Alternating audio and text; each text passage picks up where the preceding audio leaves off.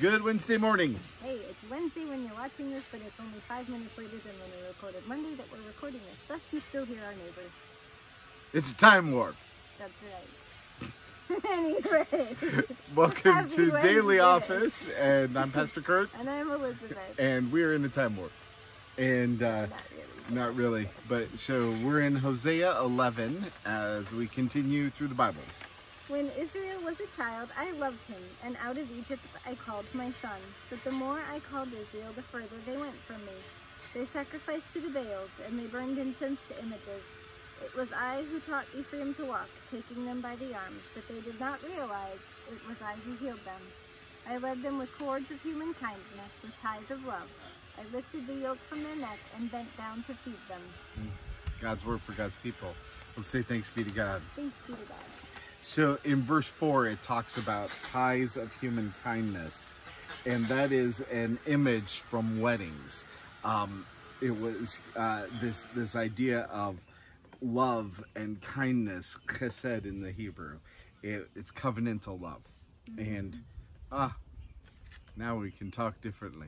So, um, and this this gift of grace, I find it interesting that uh, Hosea uses that um, as as the image here with the people were rebellious, but God continued to reach out in covenantal love.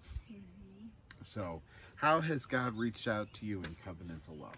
I wonder how people have experienced that.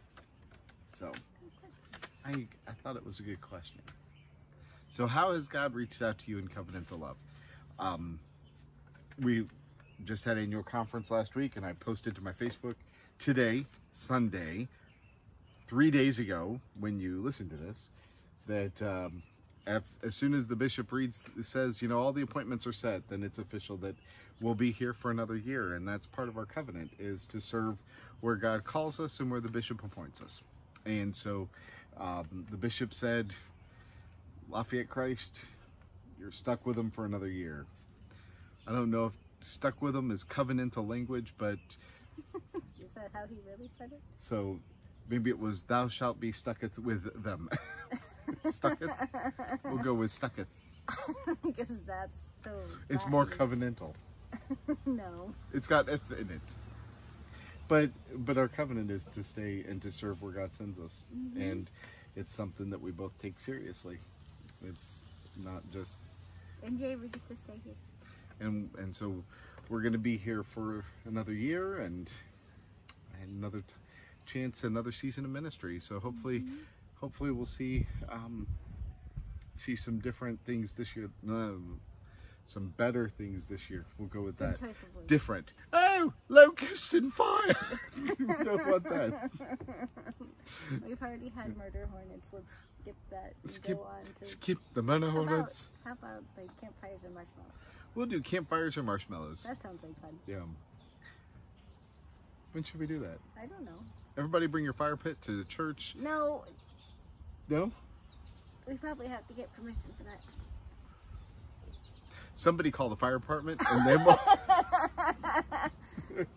anyway But hey, we'll come up with some fun things to do.